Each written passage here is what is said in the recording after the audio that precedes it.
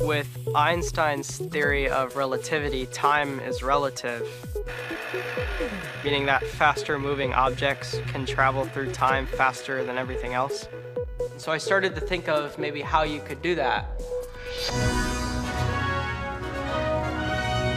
For my science fair project, um, no, currently I'm not building a time machine. My dad has a DeLorean. that would that would be interesting. Maybe in the future.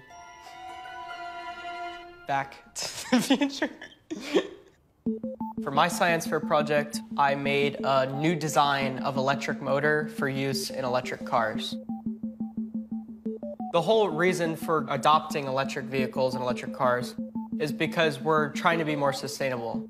But the problem is that many of these technologies, they use rare earth materials like neodymium and dysprosium.